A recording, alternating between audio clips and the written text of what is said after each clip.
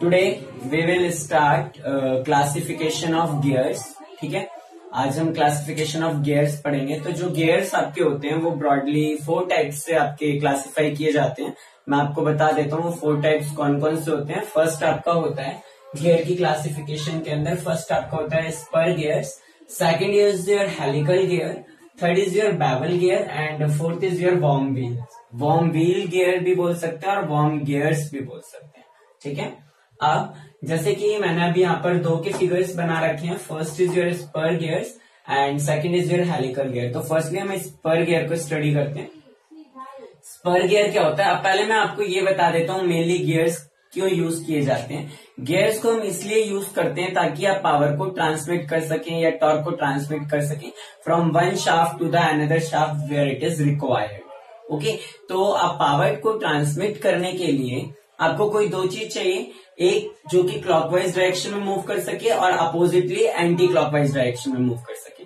ठीक है? अब यहाँ पर क्या होता है, जब दो चीज़ चाहिए पावर को ट्रांसमिट करने के लिए सिमिलरली इस फिगर के अंदर दिख रहा है तो एक छोटा वाला जो गियर होता है, उसको आप बोलते हैं पिनियन और एक जो बड़ा वाला गियर होता है, आप उसे गियर ही बोलते हैं।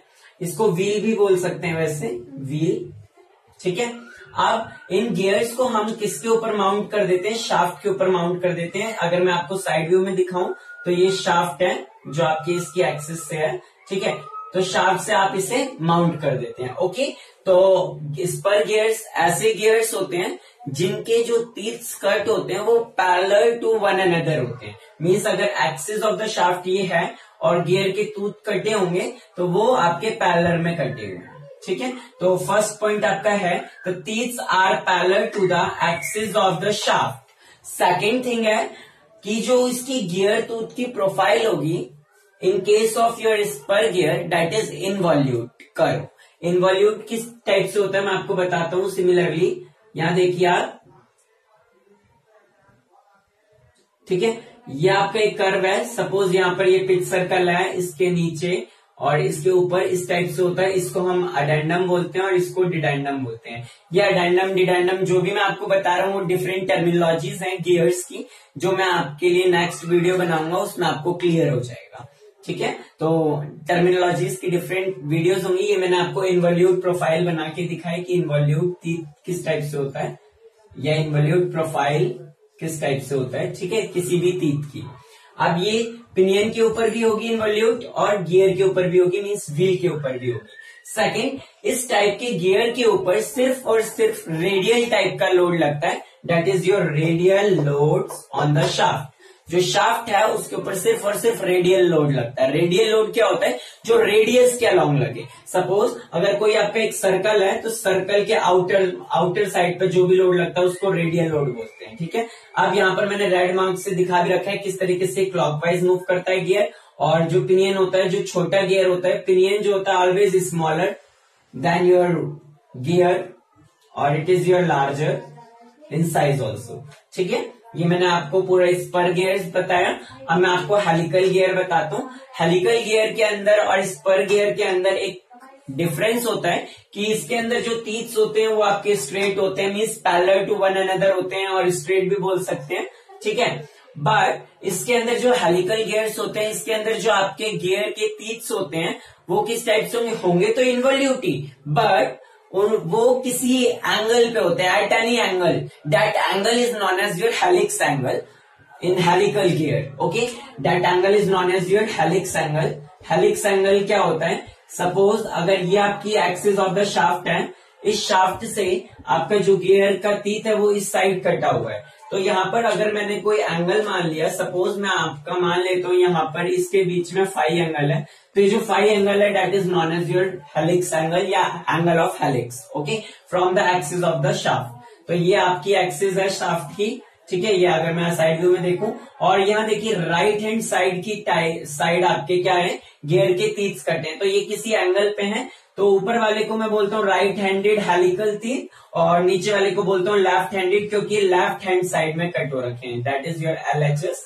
means left handed sided helical teeth okay तो ये किसी एंगल पे अब राइट हैंड वाला जो होगा, वो लेफ़्ट हैंड वाले के साथ मैचिंग में आता है गियर ठीक है? और जो आपका लेफ़्ट हैंड है, वो राइट हैंड वाले के साथ में आता है मीन्स वाइस वर्सा भी हो सकता है। ओके अब इसकी भी ये जो गियर टूथ की प्रोफ़ाइल होती है डेट इज़ ऑल्सो इनवॉल्यूट इसके अंदर भी आपकी इनवॉल्यूट प्रोफ़ाइल होती है।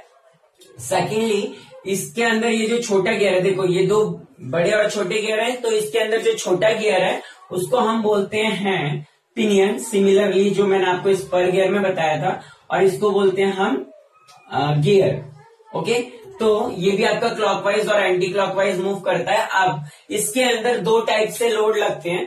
मैं आपको लोड ज़रूर बता देता हूँ। इसके अंदर दो टाइप से लोड लगते हैं। एक तो रेडियल लोड होता है और एक थ्रस्ट लोड होता है। Thrust means any pressure which is exerted means जब ये गियर इसके ऊपर फोर्स लगा रहा है, ये गियर इसके ऊपर फोर्स लगा है तो बीच में या फिर आपके साइड्स में थ्रस्ट जनरेट हो रहा है। तो उसको मैंने यहाँ पर थ्रस्ट लोड बोला हुआ है। और एक आपका रेडियल रेडियल मतलब जो रेडियस के अलाउंग होता है।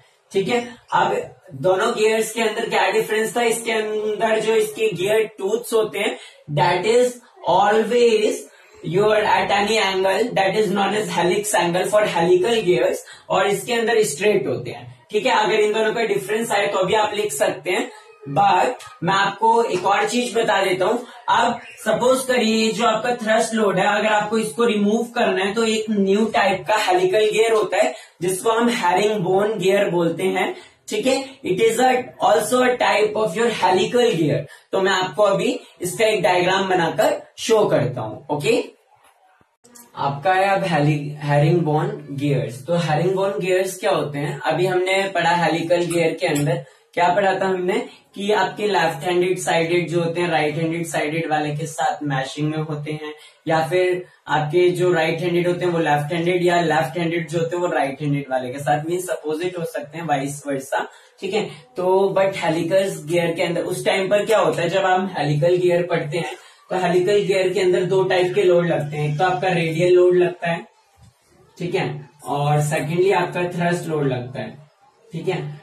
तो जो थ्रस्ट लोड है, वो ज़्यादा लगेगा। अगर हम मेरे को इस थ्रस्ट लोड को रिमूव करना है तो इसका एक और टाइप होता है, जिसको हम बोलते हैं हैरिंग बोन गियर्स है या हैरिंग बोन हेलिकल गियर्स भी आप बोल सकते हैं इसको। ठीक है हैरिंग बोन हेलिकल गियर अब इसके अंदर क्या होता है? आपका जो लेफ़्ट हैंड है लेफ़्ट हैंडेड हेलिकल गियर है और राइट हैंडेड हेलिकल गियर है। दोनों को एक के अंदर ही मैशअप कर दिया जाता है, ताकि वो क्या कर सके?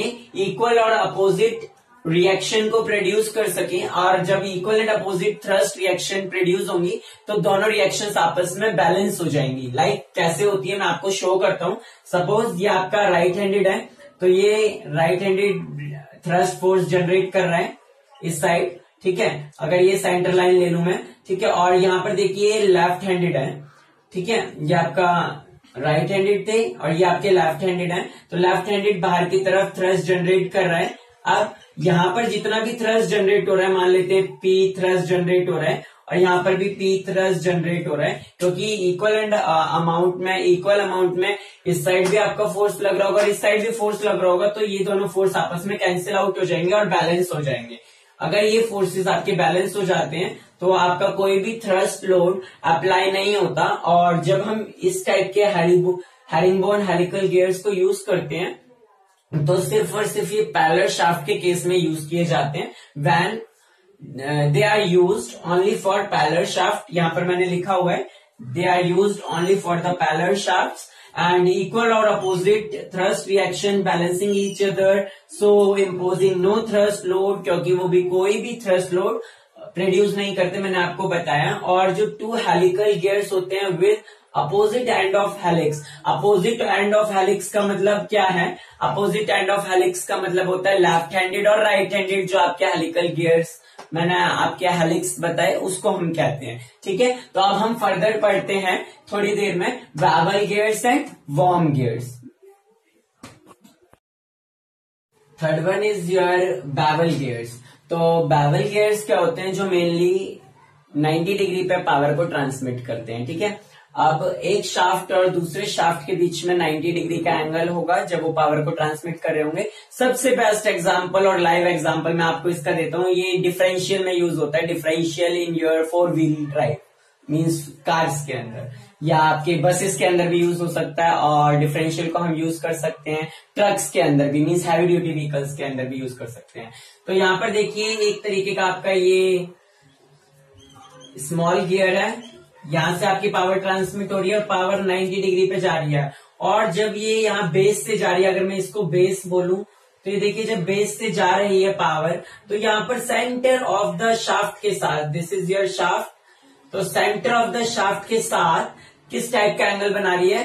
कोन टाइप इसको हम बोलते हैं ट्रंकेड कोन मैंने लिखा हुआ these gears have the shape of truncated cone इसका ट्रंकेड कौन से मतलब क्या है? बेस के साथ ये कोई एंगल बनाती है जहाँ पर कोन बन जाता है, इसको हम बोलते हैं ट्रंकेड और ये जो ये छोटा वाला है, छोटे वाले को क्या बोलते हैं? पिनियन मेनली तो जो पिनियन है, वो इस बड़े वाले गियर के ऊपर रोल आउट करता है रोटेट करता है। जब ये रोटेट करेगा तो ये आगे आगे पावर को ट्रांसमिट करेगा और यहाँ पर देखिए, जब रोटेट करेगा तो ये क्लॉकवाइज डायरेक्शन में इसको मूव करवाएगा। ठीक है? तो इस तरीके से पावर को ट्रांसमिट करते हैं। इसके अंदर देखिए सेकंड पॉइंट मैंने मेंशन करा हुआ है the size of gear tooth including thickness and height जो इसकी थिकनेस है मीन्स जो इसकी मोटाई और जो इसकी हाइट है, ठीक है? मोटाई और हाइट के अंदर फ़र्क है। हाइट मीन्स कितने ऊपर लगा हुआ है डिक्रीज होती रहती है towards the apex of the cone जिस तरीके से हम अपेक्स का मतलब होता है, ये चोच जो है, इसको हम बोलते हैं अपेक्स इस अपैक्स की तरफ़ बढ़ते हैं तो जो आपकी हाइट होती है, वो डिक्रीज होती जाती है थिकनेस के साथ साथ as compare to the base ठीक है? तो यहाँ पर देखिए towards the apex of the cone decreases क्या क्या डिक्रीज होती है? Thickness as well as your height किसकी? गियर टूथ की। ठीक है? ये एक तरीके का गियर टूथ है। The these teeths are cut straight and spiral या तो इसको हम स्ट्रेट कट कर सकते हैं। स्पाइरल का मतलब होता है Taini angle means type of helical okay इसके ऊपर भी दो टाइप के रोड लोड लगेंगे। देखिए, अंदर की तरफ़ तो रेडियल लोड लगेगा। ठीक है? अंदर की तरफ़ तो रेडियल लोड लगेगा। ठीक है? और यहाँ से थ्रस्ट लोड लगेगा जब ये मूव करेगा तो। चाहे ये अंदर की तरफ़ भी लग सकता है। ठीक है? तो ये थ्रस्ट लोड लगेगा। ठीक है? तो radial and thrust loads on the shaft अब जैसे मैंने आपको बताया, ये तब यूज़ किया जाता है जब आपको पावर को 90 डिग्री पे ट्रांसमिट करना हो। ज़रूरी नहीं है it is not a rigid 90 से थोड़ा सा मोर भी हो सकता है और 90 से थोड़ा सा लेस भी हो सकता है। In that case you will use the bevel gears okay next is your worm gears worm gears के अंदर there are two things which you have to remember first is your worms ठीक है? Worm worm के ऊपर क्या होते हैं? Threaded like structures होते हैं मीन्स थ्रेड्स होते हैं। अब वो जो थ्रेड्स होते हैं, वो सिंगल स्टार्ट थ्रेड भी हो सकते हैं और मल्टी स्टार्ट थ्रेड्स भी हो सकते हैं। टू टाइप्स के आपके थ्रेड्स हो सकते हैं। सिंगल स्टार्ट मतलब जब आपने एक बार उसे मूव किया तो कितना अपवर्ड मूवमेंट लिया, जब वो, और मल्टी स्टार्ट मतलब टू से मोर टाइम्स मीन्स जब आपने एक बार टू रोटेशन दी तो वो कितना अप हो गया। ठीक है? तो थ्रेड की मूवमेंट को बताता है वो multi point multi multi start thread और सिंगल स्टार्ट थ्रेड ठीक है? तो जो वॉर्म होता है टू टाइप के थ्रेड से मिलकर बनता है और जो वॉर्म व्हील है, ठीक है? वॉर्म व्हील आपका रोटेट करता है जैसे आपके थ्रेड्स मूव करते हैं। जैसे कि आपने रैक एंड पिनियन अरेंजमेंट सुना हो तो ठीक है? अब इसके अंदर क्या है? These are used when the axis of which do not intersect जब इनकी एक्सिस कहीं पर मीट नहीं करती, देखिए, इसकी एक्सिस अलग है और ये जो यहाँ पर शाफ्ट है, इसकी एक्सिस अलग है। तो दोनों की एक्सिस एक दूसरे से अलग होती है, कहीं पर इंटरसेक्ट नहीं होती 90 डिग्री पर होती हैं are perpendicular to each other देखिए, एक दूसरे के परपेंडिकुलर है, इसकी एक्सिस अब वॉम तो इस वॉर्म व्हील जो है, वो इस वॉर्म के ऊपर रोटेट कर रहे हैं। तो वॉर्म और जो आपका वॉर्म व्हील इन दोनों के बीच में जो कनेक्शन है, वो 90 डिग्री का है मीन्स परपेंडिकुलर है, ठीक है? सेकंड इसके ऊपर आपके दोनों टाइप के लोड लगते हैं हाई रेडियल लोड भी लगता है और हाई थ्रस्ट लोड भी लगता है। हाई रेडियल लोड भी लगता है और हाई थ्रस्ट लोड भी लगता है। वॉर्म के ऊपर और वॉर्म व्हील के ऊपर। किसके ऊपर रेडियल लगेगा? जो सर्कल होगा उसके ऊपर रेडियल लोड लगेगा। सर्कल कौन सा इसके अंदर। वॉर्म व्हील आपका सर्कल है। तो इसके ऊपर रेडियल लोड लगेगा, रेडियस के अलॉन्ग लोड लगेगा, ठीक है? बट अब जो आपका वॉर्म व्हील है, उसके ऊपर तो रेडियल लोड लगेगा बट हाई रेडियल लोड। और थ्रस्ट लोड किसके ऊपर लगेगा? वॉर्म के ऊपर। देखिए, बाहर की तरफ़ इसको खींचेगा तो हाई थ्रस्ट लोड लगेगा। ठीक है? अब हाई थ्रस्ट लोड वॉर्म के ऊपर लगता है हाई थ्रस्ट लोड और वॉर्म व्हील के ऊपर लगता है हाई रेडियल लोड ओके? अब इस इस टाइप के जो वॉर्म गियर्स होते हैं worm gears are mainly categorised by high speed reduction ratio इसके अंदर हम स्पीड को सबसे ज़्यादा कम कर सकते हैं। स्पीड को रिड्यूस करने के लिए इस टाइप के गियर्स को यूज़ करते हैं। यहाँ देखिए, मैंने लास्ट पॉइंट में लिखा हुआ है। Categorised by high speed reduction ratio ठीक है? This type of gears are used for reducing the high speed initially. बहुत जल्दी हाई स्पीड को क्या कर देते हैं? लो कर देते हैं। रिड्यूस करने के काम आते हैं। इस टाइप के गियर को हम बोलते हैं वॉर्म गियर्स तो मैंने आज आपको क्लासिफिकेशन ऑफ़ गियर पढ़ाया। नेक्स्ट मैं आपको गियर ट्रेन पढ़ा सकता हूँ और नोमिन okay thanks for the video please like subscribe and share my channel